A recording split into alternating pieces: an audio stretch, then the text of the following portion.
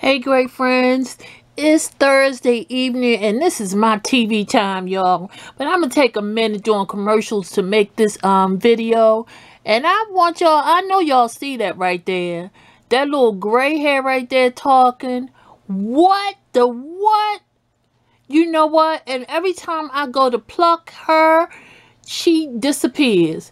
And I'm sure I got some over this other side that I can't see. I know there's some little black ones up there hiding, and I can't get to them. What do y'all do about those hairs like that?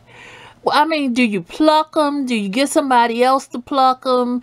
Do you wax them? Just what do you do? Please comment below, and I'll see you tomorrow. I love you, and God bless. Bye-bye.